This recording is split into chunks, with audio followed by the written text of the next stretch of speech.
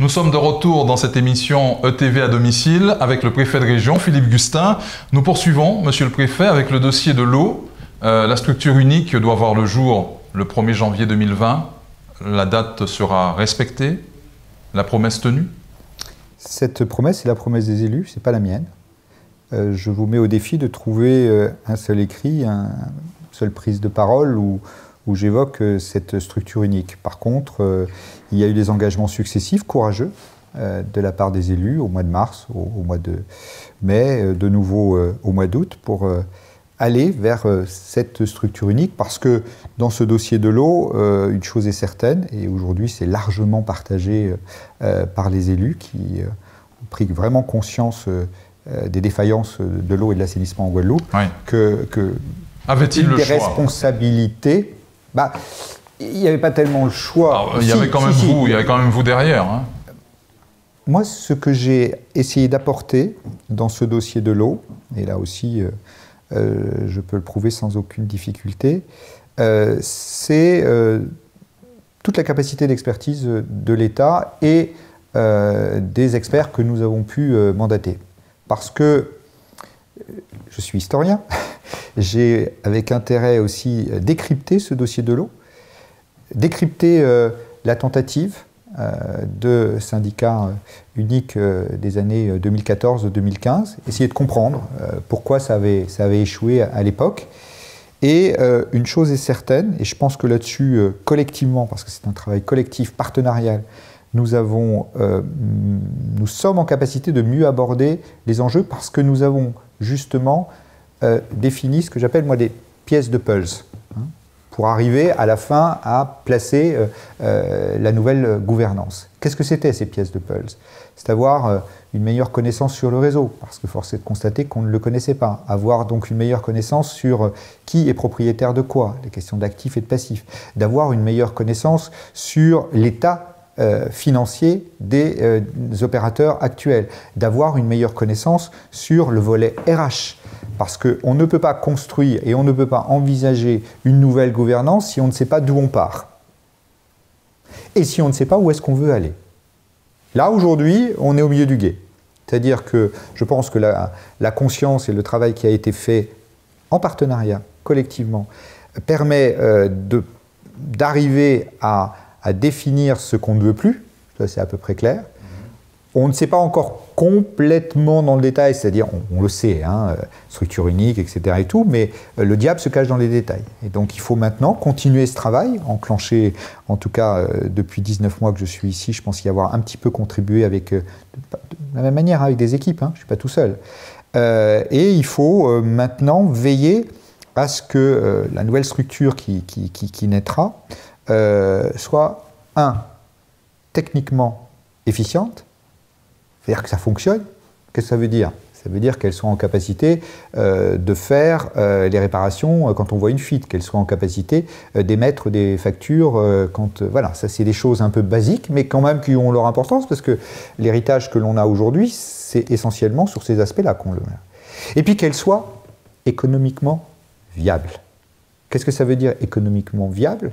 Ça veut dire que concrètement, on n'est pas un prix de l'eau qui s'envole, parce qu'il faut qu'il soit acceptable de l'eau et de l'assainissement, qu'il soit acceptable pour les Guadeloupéennes et les Guadeloupéens. Et puis il faut tendre le plus rapidement possible vers cet axiome de base qui est que l'eau paye l'eau. On ne peut pas se permettre, alors même qu'on a des fondamentaux qui sont excellents. Euh, je faisais la, la, réflexion euh, en off sur la pluie qui tombe ici à Saint-Claude. Euh, de l'eau, contrairement à d'autres territoires, nous en avons suffisamment. Nous en produisons suffisamment, deux à trois fois plus que nécessaire. Mais malheureusement, nous en perdons en moyenne 65%. Tout cela n'est pas acceptable. D'abord parce que, écologiquement parlant, c'est une catastrophe. Et puis que derrière, en bout de course, dernier élément, il y a entre 15 et 25% des gens qui souffrent des tours d'eau et qui n'ont pas d'eau de manière régulière. Et ça, c'est inadmissible. Alors, que reste-t-il à régler pour que tout soit vraiment euh, sur les rails? Ah, ce qu'il faut régler aujourd'hui, c'est euh, euh, les détails euh, que l'on trouve quand on lève le capot. Et c'est être sûr que le mécano qu'on va, qu'on va monter réponde bien aux deux critères que j'évoquais tout à l'heure, hein. Techniquement efficient et économiquement viable, euh, qu'on ne reparte pas dans, les errements euh, du passé en, pensant avoir trouvé la, pierre philosophale. Et puis surtout, ce qu'il faut faire aujourd'hui, c'est passer de la situation actuelle à la nouvelle situation. Et on sait très bien que ces périodes de transition sont toujours un peu compliquées parce que on fait de la surenchère et on l'a bien vu à partir parce que je note quand même une chose. Hein, j'ai été beaucoup euh, critiqué euh, par rapport à, la pression que j'aurais fait sur ce dossier de l'eau, mais j'ai toujours été critiqué sur la base de propositions écrites que je faisais. J'étais le seul à en faire. J'ai jamais eu de, proposition contradictoire. C'est donc que ce que j'écrivais n'était pas si nul que ça. Et d'ailleurs, c'est pas ce que j'écrivais, c'était le résultat aussi euh, du travail partenarial que j'évoquais tout à l'heure. Donc maintenant, bah, il faut de manière très sereine, euh, d'abord faire un petit peu de droit, parce que c'est un peu comme ça que ça se fait. Et puis, il faut surtout euh, faire de, la gestion, à la fois de la gestion financière, budgétaire, et puis de la gestion de ressources humaines, pour équilibrer et faire en sorte qu'en bout de course, euh, on se retrouve surtout avec une structure qui fasse ce pourquoi elle est créée. C'est tout simple. Je vois un robinet, je le tourne, il y a de l'eau qui coule et je mhm. peux la boire. Euh, il y a aussi, vous parliez de RH, la question du, personnel à régler. Mhm. Alors là, je profite de la tribune que vous me donnez euh, pour là aussi dire qu'à aucun moment je n'ai prononcé le mot de licenciement, ni écrit, ni oralement. Jamais. Mais une chose est certaine, le dimensionnement actuel ne correspond pas à l'équilibre économique qu'il nous faudra à la fin. Donc il y a un travail à faire, c'est ce que j'évoquais, la transition, pour, dans le cadre d'un plan de sauvegarde de l'emploi, avoir des mesures qui permettront d'accompagner, en particulier, on sait qu'on a une centaine d'agents qui, qui ont leurs annuités pour partir à la retraite et qu'il faut sans doute accompagner et qui demandent pour certains d'ailleurs à partir. Il faut faire très attention, et ça je l'ai toujours dit, de ne pas se séparer de toute la mémoire, parce qu'on a déjà un, gros, gros problème de connaissance, en particulier du réseau, et il ne faudrait surtout pas qu'on perde ceux qui le connaissent, donc il faudra être très... Donc pas de licenciement, mais des suppressions de postes. C'est pas ça. On est aujourd'hui, je vais vous faire un peu de droit, pardon, hein, trois secondes. Qu'est-ce que sont ces opérateurs? Qu'est-ce que sont les structures actuelles? Elles sont l'émanation des collectivités locales rien n'empêche les collectivités locales de reprendre, d'ailleurs, c'est même pas que rien n'empêche, le droit les obligerait à le faire. Euh, dans le cadre euh, de euh, dissolution des structures actuelles, parce que quoi qu'il arrive, même si ce mot est tabou, pour arriver, moi je ne sais pas faire d'omelette sans casser les œufs. Hein. Je ne sais pas créer une nouvelle structure tout en gardant les autres structures. Vous voyez, ça vous fait sourire. Ça veut bien dire que même vous, il n'y a pas besoin d'avoir fait. voilà, on se rend bien compte que Monsieur, Madame CC le comprend aussi. Donc il faudra là aussi respecter le droit et rien n'empêche les collectivités euh, de reprendre euh, les agents qui ne seraient pas utiles à, la nouvelle structure demain. Mais tout ça, ça fait partie du travail fin qu'il faut faire à mon avis euh, dans un cadre extrêmement serein, sans surenchère électoraliste, allez me dire la période s'y prête pas tellement, et que l'on doit faire par contre de manière très intelligente parce qu'il faut qu'on ait Là aussi, ce qui est intéressant, dans les pièces du puzzle que je vous évoquais tout à l'heure, euh, il faut toujours analyser euh, les raisons pour lesquelles ça ne fonctionne pas. Euh, j'ai rencontré à de très nombreuses reprises les organisations syndicales des différentes structures, des opérateurs de, de loi actuels, et ils m'ont tous fait le même constat. C'est-à-dire concrètement, euh, selon les structures, on avait beaucoup de généraux, euh, beaucoup de fantassins, et puis il n'y avait personne pour faire la chaîne hiérarchique qui permettait de faire le, boulot correctement. Donc il va falloir construire tout ça. Et le construire avec euh, les organisations syndicales et les agents. Je l'ai toujours dit, d'ailleurs j'ai été le premier à les recevoir, donc on ne peut pas me, là m'accuser de nouveau de ne pas avoir penser à la chose sociale. S'il y en a bien un qui l'a fait dès le début, c'est moi. Et puis on ne pourra pas le faire sans les usagers non plus. Parce que du côté des usagers, il y a quand même un élément fondamental qu'il faut restaurer. Et je le dis depuis le début que je suis ce sujet-là, c'est la confiance. Si on veut que les gens recommencent à payer leurs factures quand ils les reçoivent, parce que souvent ils ne les payent pas parce qu'ils ne les reçoivent pas, ou qu'ils reçoivent des factures qui sont complètement frappadingues.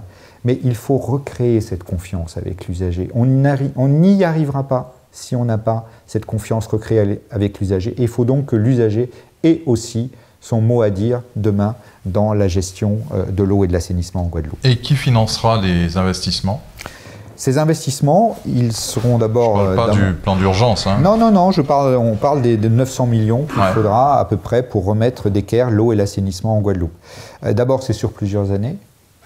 là, on, on estime, euh, parce que euh, là aussi, euh, on parle beaucoup des soi-disant licenciements que j'évoque, mais moi je suis aussi, pardon, c'est mon métier, d'avoir une vision transversale des choses. faire 60 millions d'investissements pendant 15 ans sur un territoire comme la Guadeloupe pour réparer les réseaux, ça va créer de l'emploi. Il ne faut pas le négliger. et d'ailleurs, les socio-économiques sont, sont, conscients de ça. Pour ça, pour qu'ils créent de l'emploi, ça veut dire qu'ils investissent, hein, investissent des, machines, qu'ils investissent aussi dans la formation, parce qu'il faudra aussi former, former des gens. Il faut qu'ils aient cette visibilité. Et pour répondre donc à votre question, ces 900 millions, ils pourront être octroyés euh, sur la base de, prêts, euh, donc d'emprunts pour la, structure unique, mais à partir d'un moment clair.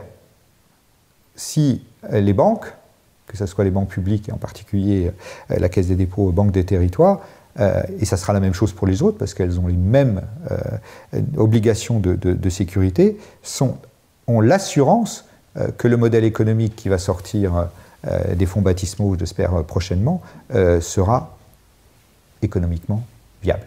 La vraie évolution pour ce qui est de l'alimentation de notre population en eau potable, sans tour d'eau, sans coupure, elle sera perceptible quand?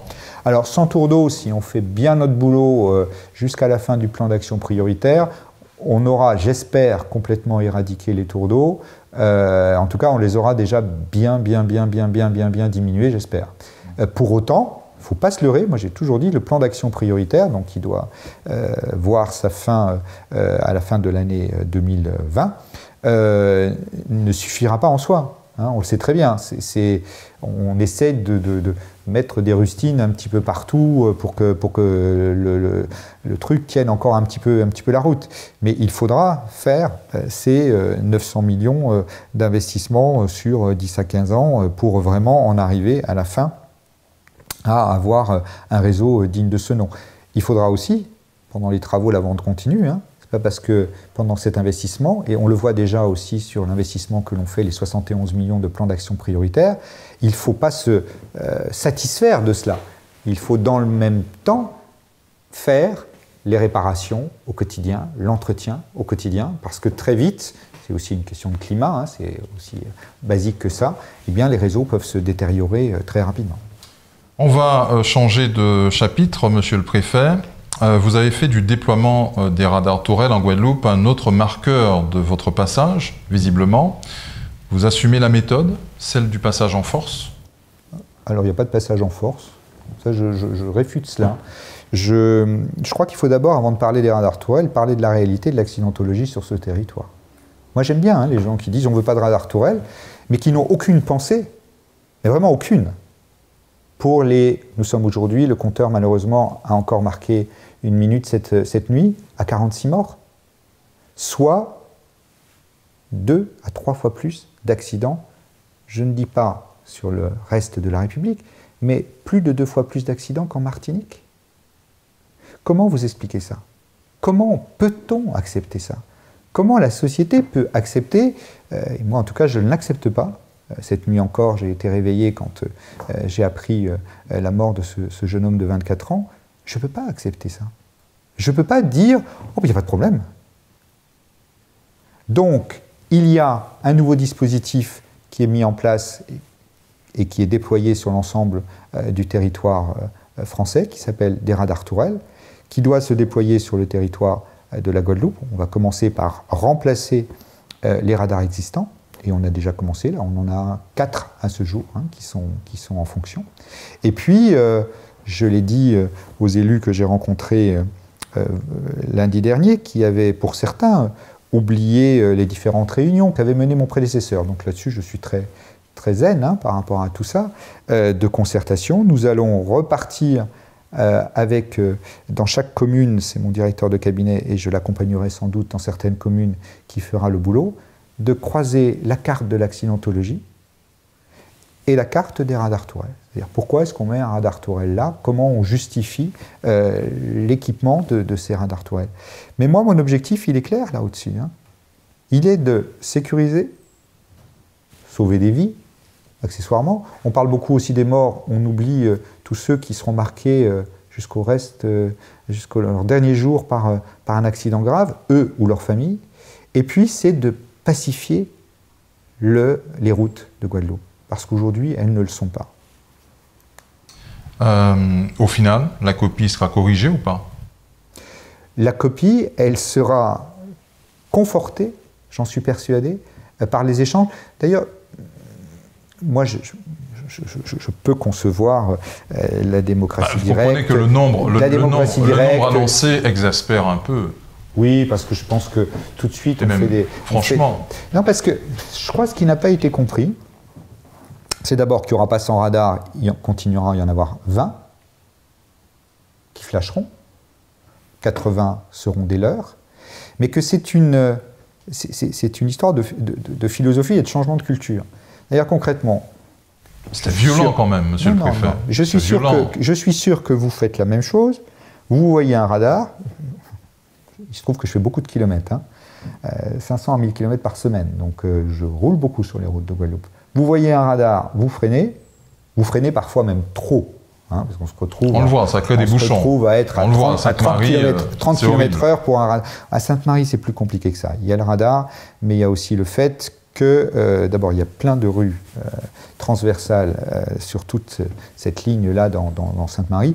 Et puis, il y a plein de petits malins qui essayent, parce qu'ils veulent à tout prix avoir l'impression qu'ils avancent, qui prennent des chemins détournés et qui arrivent, justement sur ces voies transversales et qui bloquent donc la circulation. Ce n'est pas simplement le, radar à Sainte-Marie qui bloque. Mais toujours est-il qu'en bout de course, euh, le principe, il est clair avec ces, radars, ce déploiement de radars sur le territoire, dont je rappelle, seuls 20 seront efficients. De faire en sorte concrètement euh, qu'on n'ait pas ce, stop and go et que c'est un peu têtu, mais et c'est là que, quand même, quelque part, ce, dossier est un peu irrationnel. Bah, qu'on respecte un truc qui s'appelle le code de la route. C'est tout simple. Hein. c'est que, voilà, on ait euh, une vitesse qui soit respectueuse du code de la route, des limitations, qu'elle soit à 80, qu'elle soit à 110, qu'elle soit, soit à 50, sur euh, l'ensemble du, territoire. Je vous entends bien, monsieur le préfet, mais au final, ça fera une centaine d'installations de radars qui peuvent potentiellement verbaliser, flasher. Oui. Euh, actuellement, il y en a combien? Il y en a 20. Voilà. Mais non. C'est ça. Non, non, non, vous, vous, vous, oui, mais... vous, tordez les chiffres. Il y en aura toujours 20. Mais quand on arrivera à un radar, on saura qu'il y en aura un autre plus loin et on restera et on respectera la limitation de vitesse sur l'ensemble du territoire. Parce que quand même, hein, revenons à nos 46 morts. Oui. La moitié s'est tue. Hein c'est la vitesse. Et l'autre moitié, presque, c'est l'alcool ou la drogue. Voilà. Cette réalité, là aussi, je, le dis tout le temps avec énormément de solennité. C'est ce que vous opposez aux contestataires, en fait. Oui, parce que les contestataires, en fait, ce qu'ils disent clairement, ne respectons pas le code de la route. Et, c'est là que c'est oh, assez intéressant. Pas dire ça. si, si, si. ah bah si, si, pardon. Mais c'est ça. C'est-à-dire, on ne veut pas être susceptible d'être pris en faute parce qu'on ne respecte pas le code de la route. Et c'est là que je trouve ça quand même intéressant, parce que j'ai eu cet échange l'autre jour avec des jeunes, à, c'était à, au Moule. Et on a eu une grande discussion après. Et comme ils sont jeunes, ils voyagent, ils voyagent beaucoup, comme on voyage aussi beaucoup euh, quand on est ici euh, dans la Caraïbe. Moi, ce que je trouve assez surprenant, c'est que j'en suis persuadé, la plupart des Guadeloupéens qui aujourd'hui contestent et qui sans doute ne respectent pas toujours le code de la route et ont peur en tout cas de se faire flasher parce qu'ils ne le respectent pas, quand ils sont aux États-Unis, quand ils sont en Floride, quand ils sont ailleurs, je suis sûr qu'ils respectent le code de la route. Pourquoi n'est-on pas capable ici de respecter le code de la route qu'on respecte quand on est ailleurs? Mhm. euh, Vous pouvez me citer une région de France où il y a un tel déploiement?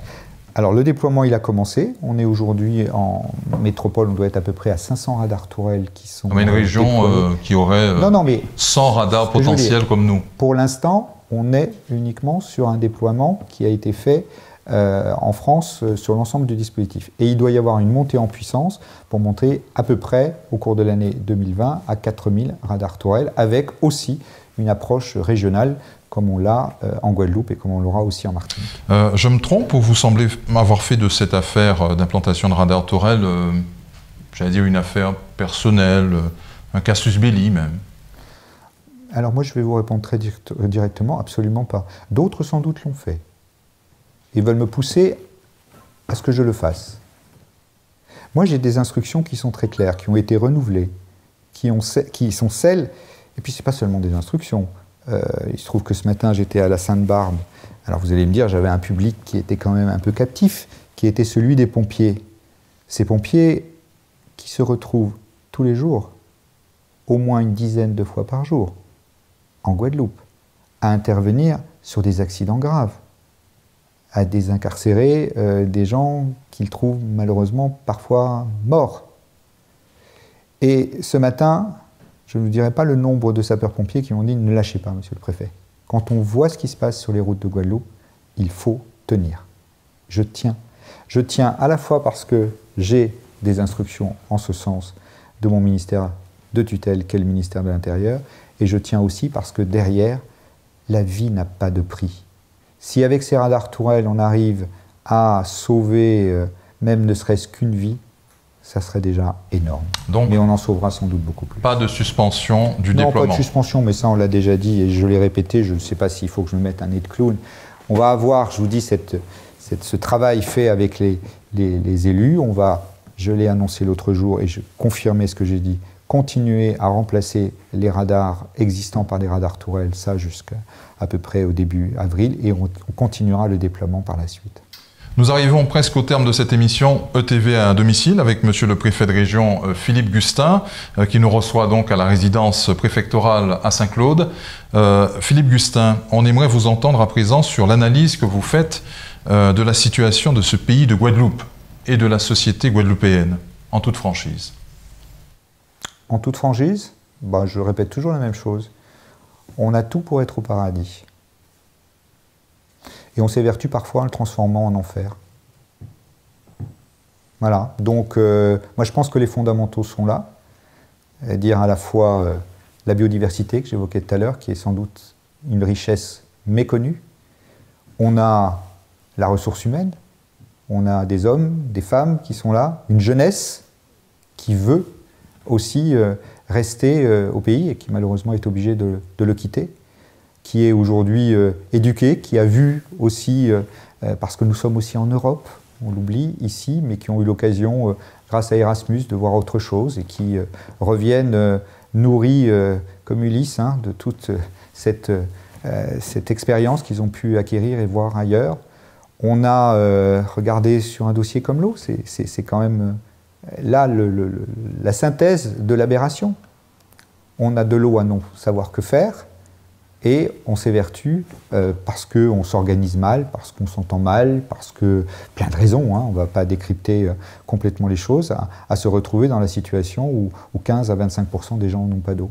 Donc ça, encore une fois, moi je reste persuadé que euh, à la place qui est la mienne, bah, j'ai un tout petit rôle à jouer parce que c'est pas l'État qui doit régler les choses ici. C'est euh, aussi, de par euh, la décentralisation, c'est aussi aux collectivités locales, dans un travail partenarial, y compris avec l'État, y compris avec les opérateurs de l'État, de faire en sorte que ce paradis soit vraiment un paradis. Et je le répète, que nous léguions à nos enfants de, Guadeloupe demain un territoire qui soit bien mieux que celui qu'on a reçu.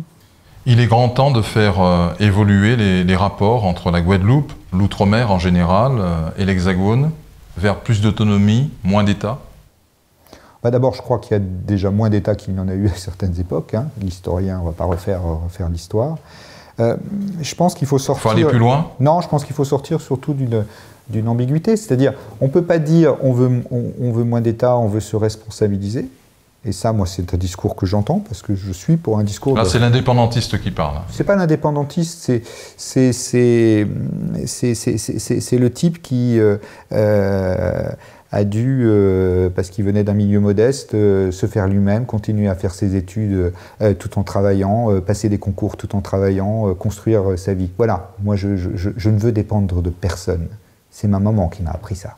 Elle avait sept enfants, elle nous a toujours dit ne dépendez jamais de personne. Donc oui, là, je suis indépendant. Donc c'est peut-être pas bien de vouloir transposer ça, mais quand même ça peut sauver la vie, hein, de temps en temps, d'être capable de se débrouiller tout seul et de pas attendre. Donc voilà, justement, j'en arrive à, ce paradoxe qu'il faut lever. On ne peut pas être dans une logique où on veut être responsable, et ça, je serai toujours aux côtés euh, des élus, mais aussi des Guadeloupéennes et des Guadeloupéens, dans ce, discours et cette matérialisation de la responsabilisation, parce que je pense que c'est que comme ça qu'on s'en sortira. Et puis, on ne peut pas être dans le même temps à appeler l'État euh, toutes les cinq minutes, et surtout pour faire l'échec quand ça ne va pas. Voilà, donc ça, c'est ça qu'il faut changer aujourd'hui. C'est cette relation qu'il faut, qu'il faut changer aujourd'hui. Cette responsabilité, elle doit aller jusqu'au bout. Mais je suis confiant. Je pense que c'est quelque chose qui est, qui est possible, qui n'est pas propre à la Guadeloupe. Hein. Là aussi, il faut, en être clair. C'est le fonctionnement euh, de l'État très, très omniprésent, jacobin, qu'il faut, qu'il faut sans doute faire évoluer dans, dans notre République. Et c'est ce à quoi euh, nous nous attelons dans une logique partenariale aussi. Ce n'est pas l'État tout seul qui doit décider de ça. Hein, c'est vraiment chacun doit être à sa place, exercer les compétences qui sont dévolues à chacune euh, des structures respectives, et puis travailler dans une logique partenariale. Parce que la pire des choses, c'est aussi de tirer à U et à Dia, chacun dans, dans son sens, non, non pas pour s'arroger la réussite, mais pour éviter que l'autre ne réussisse. Ça, c'est terrible. Selon vous, quels sont les grands défis de la Guadeloupe pour les années à venir? L'eau, les finances locales, le CHU, la sécurité. Je reviens à mes priorités. Vous voyez? En tout cas, c'est celle que je sens. En tout cas, on ne peut pas vivre sans eau. On ne peut pas avoir une économie, euh, surtout euh, à ce point euh, recherchant, et c'est normal, à valoriser sa, carte touristique et, ne pas sécuriser l'eau et l'assainissement. Donc vous voyez, les grands défis, ils, sont ceux qui, on reboucle la boucle par rapport à votre question de tout à l'heure, ils sont compatibles avec les, priorités que je me suis données et qu'on m'a assignées euh, sur ce poste. Philippe Gustin, quel nouveau challenge espérez-vous après, après la Guadeloupe? Il vous faut un beau point de chute. Moi, je ne souhaite qu'une chose, c'est d'abord euh, euh, de mener mon mandat ici à bien et, puis d'avoir peut-être encore quelques, quelques satisfactions parce que dans toutes les questions que vous avez posées, il y, a toujours cette, petite musique négative. On ne parle que des choses, que des trains qui n'arrivent pas à l'heure. On ne parle que des choses qui ne vont pas. Et pour autant, il y a des choses qui vont bien. Il y a des choses qui vont ici. Et j'aimerais qu'on en parle beaucoup plus. Donc voilà, j'aimerais continuer hein, là-dessus. Et puis après, moi je vais vous répondre s'agissant de la suite, je ne demande qu'une chose. C'est la chose que j'ai demandé à chaque fois que j'ai changé de poste et d'affectation. C'est d'être surpris. D'être surpris parce qu'on me propose un nouveau challenge, quelque chose de différent. Euh, je vais avoir 60 ans l'année prochaine, c'est quelque chose que j'ai du mal à accepter, et pour autant, j'ai envie. Ah bon, pourquoi? Parce que ça fait jamais plaisir de vieillir. Hein. Excusez-moi, c'est pas trop. On s'assagit, non? Ah non, ça c'est pas mon truc. non, non, je, je, souhaite pas, mais je souhaite garder la fougue qui est la mienne jusqu'au dernier souffle. Mais euh, non, je, souhaite voilà être surpris. La Guadeloupe vous a surpris? Ah oui, elle me surprend tous les jours, tous les jours, tous les jours. C'est ça qui est bien. Hein on se réveille le matin, on apprend quelque chose, parce que c'est aussi la, fonction qui veut ça. Il se trouve que euh, j'ai des informations souvent, parfois en primeur, même en avance. Donc c'est, oui, oui, on, est toujours surpris, mais moi ça ne me, déplaît pas. Hein. C'est ça qui est bien. Ça, fait partie, euh, voilà, quand on m'a proposé d'être préfet de région de Guadeloupe, c'était aussi pour moi une surprise. Je ne m'y attendais pas. Et j'ai accepté, je vous l'ai dit tout à l'heure, hein, de relever ce défi, étant conscient qu'il que, y avait euh, plusieurs challenges. Mhm. Euh, on précise que au moment où nous enregistrons cette émission, vous n'êtes pas encore parti. Hein. Ben non, sinon je ne vous recevrai pas ici parce que. Mais ça peut aller vite. Je, n'ai pas voulu. Ça peut aller vite. Oui, c'est des CDD d'une semaine. Et je n'ai pas voulu vous, vous, vous, reprendre parce qu'à deux, deux, reprises, vous avez dit le, le, préfet euh, nous reçoit dans sa résidence. Non. Non, non. Je vous reçois dans la résidence préfectorale. C'est important pour moi. Cette maison, vous l'avez dit aussi tout à l'heure à juste titre, elle participe de l'histoire aussi de la Guadeloupe, elle participe du patrimoine guadeloupéen, elle ne m'appartient pas, ce n'est pas ma résidence, c'est la résidence où j'ai la chance euh, d'être hébergé pendant le temps où je serai ici en Guadeloupe. Donc je ne m'approprie pas euh, les, choses comme ça. Donc voilà, je, reste quand même, euh, je suis là jusqu'au dernier souffle. Mhm. Vous laissez dire et spéculer. Ah oui, alors là, si je m'amusais à démonter chaque fake news, chaque rumeur, comme on dit en bon français, euh, sur mon compte euh, ou sur le compte du travail que l'on peut faire. Alors, il y a des fois, je m'énerve parce que ça va tellement loin dans la bêtise qu'il faut quand même siffler la fin de la récré. Mais d'une manière générale, ça passe. Hein. Là, là, pour le coup, vous l'avez dit tout à l'heure, c'est peut-être le privilège de l'âge. Hein. C'est pas qu'on s'agit, mais euh, on apprend à faire le dos rond plus facilement. Merci, merci Philippe Gustin, Monsieur le Préfet, de nous avoir reçus à la résidence préfectorale, ici donc à Saint-Claude, pour ETV à domicile. Merci pour cet entretien. C'est moi qui vous remercie. Cette émission est terminée. Merci de nous avoir suivis. À très vite sur ETV.